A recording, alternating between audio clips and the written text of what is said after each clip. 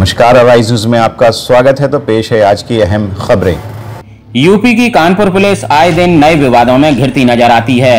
ताज़ा मामले में वर्दी के नशे में चूर ज़िले के तीन दरोगाओं ने पुलिस की आन पर बट्टा लगाया है। दरअसल 20 जुलाई को कानपुर जिलाधिकारी ने 10 थाना क्षेत्रों में संपूर्ण लॉकडाउन लागू कर दिया था। उधर लॉकडाउन का हवाला देकर काकादेव, चकेरी और पनकी थाना क्षेत्र के तीन दरोगाओं ने जनता से अभद्रता और गाली गलौज की सारी सीमाएँ पार कर दी। लेकिन इस दौरान कुछ लोगों ने उनकी हरकतें अपने मोबाइल में कैद कर ली और सोशल मीडिया पर वायरल कर दी। उन्हीं में से एक वीडियो क्लिप को हम आपके साथ शेयर कर रहे हैं। वर्दी के नशे में चूर ये दरोगा है कानपुर के शास्त्री नगर चौकी का रविशंकर पांडे। वैसे तो इस पर लोगों की सुरक्षा की ज़िम्मेदारी है, लेकिन वर्दी के गुरूर में ये दरोगा इतना अंधा हुआ कि जनता को ही सताने पर उतर आया। जनता के प्रति इसकी भाषा इतनी गंदी है कि उसे हम अपने चैनल पर नहीं सुना सकते। इसलिए हमारे वीडियो एडिटर ने उसकी गालियों की साउंड को ऑफ़ कर दिया है। कहाँ जा रहा? ये कहाँ जा रहे? तुम लोग कहाँ जा रहे? कागज़ लेने दोनों जा रहे कागज़ लेने? हाँ गाड़ी खड़ी कर दी। गाड़ी खड़ी कर चाबी लेनी? क्या बता रहा था? चल चल। चल वो ले आना चालान बुक। बिना मास्क। मास्क लगाया मैंने। लॉकडाउन हाँ हाँ मारिए सर। बिल्कुल मारिए। लॉकडाउन कहाँ घूम रहे मैं सामान लेने आया था मुझे नहीं लॉकडाउन पता। क्यों नहीं? तो मारेंगे सर। हाँ, गलती हो गई मैं माफ़ी मांग रहा हूँ। तुमको बंद करूँगा। तो बंद भी करूँगा। ये जानते नहीं हो? नहीं सर हम कहाँ जाए? कह रहे हैं कि हम निकल रहे हैं मास्क नहीं लगाए सर। इसीलिए कहता हूँ बिना मास्क का ये चला हाँ तो बिना मास्क का क्यों काट देंगे सर? चलो चलो इसको ए सुंदर यहाँ इसको पकड़ो।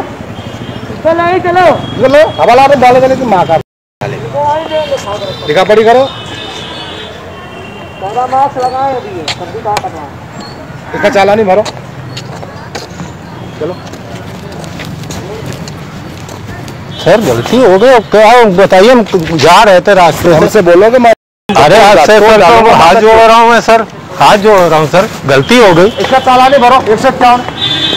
लॉकडाउन उल्लंघन सर गलती हो गई माफ़ कर दीजिए। चलो वहाँ चलो वहाँ सर माफ़ वहाँ कर चलो। माफ़ कर दीजिए। वहाँ चलो। माफ़ कर दीजिए। सर सभी लोग जा रहे हैं सर। वहीं जब कानपुर के काकादेव चकेरी और पनकी थाना क्षेत्र के दरोगाओं की करतूत सोशल मीडिया पर वायरल हुई तो ज़िले के कप्तान ने आरोपी दरोगाओं को सस्पेंड कर दिया और उनके खिलाफ जाँच भी बैठा दी। इसके साथ ही जिला कप्तान ने पुलिस अधिकारियों कर्मियों को साफ़ हिदायत दी है कि वो ऐसी कोई हरकत ना करें जिससे पुलिस डिपार्टमेंट को शर्मिंदगी उठानी पड़े। जनपद कानपुर नगर में कल के डेट में कुछ सब इंस्पेक्टर के अभद्र व्यवहार के संबंध में, धमकी देने के संबंध में, मास्क न पहनने की वजह से पीटने के संबंध में तमाम इंफॉर्मेशन सोशल मीडिया प्लेटफॉर्म्स में भी और इलेक्ट्रॉनिक मीडिया में भी चल रहा है, जिसमें एक काकादेव के सब इंस्पेक्टर है, एक चौकी इंचार्ज सनी गवाह है। और एक सब इंस्पेक्टर पंकी थाने का है। इन तीनों के अभद्र व्यवहार एवं गलत भाषा प्रयोग करने के संबंध में संबंधित क्षेत्राधिकारियों से जाँच करके रिपोर्ट मंगवा रहा हूँ। जो भी जाँच आके आएगा, उसके एवज में तत्काल उनके खिलाफ कार्रवाई की जाएगी। कोई भी पुलिस वालों को पब्लिक से अभद्र व्यवहार करने का इजाज़त बिल्कुल नहीं है।